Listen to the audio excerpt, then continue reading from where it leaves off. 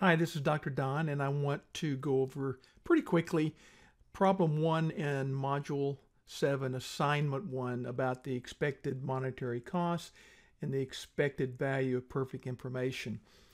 I've set up the problem this way, and remember, you need to identify what your actions are and what your events are. And then, based on that, you've got one, two, three, four, five, six, seven actions and one, two, three, four events.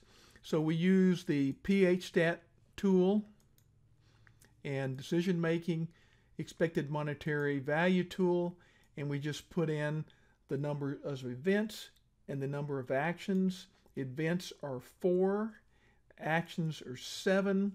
We want the expected opportunity loss. We don't need measures variation. I'm going to click OK.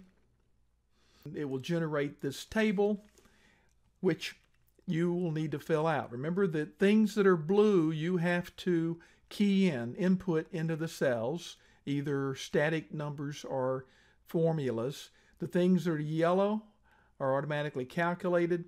These things in white are intermediate values, but they're also calculated once the blue is filled in.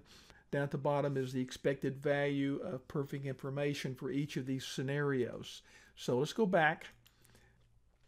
I will show you what I've done here is I've colored in the meat of the table. These are the intersections of actions and events. And that's what we need to figure out. What is the payout that belongs in these intersections here? The way I remember what I have to put in there, because there's a lot going on, I look down here in what PHStat gives me, the expected monetary value. I'm going to double click that. And you can see it's a sum product.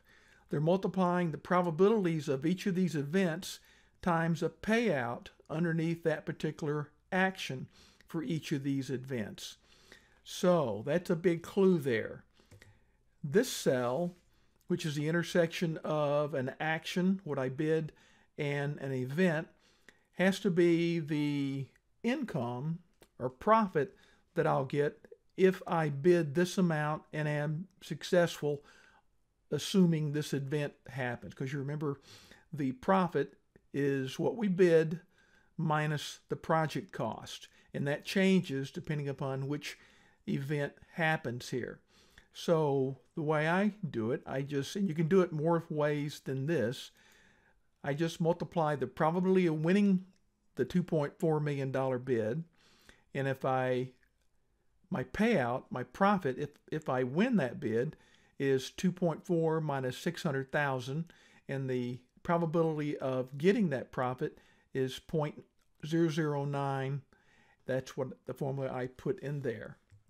And I just replicate that for each of these based on that bid and the probability of winning that bid and what the project cost would be under that event that gives me my payouts. And once I get those, everything else populates. And I will hopefully show you, I'm going to copy all that and go over here to this table. And if I do this right, I'm going to paste special. And you can see everything downstream populates. So I hope that helps.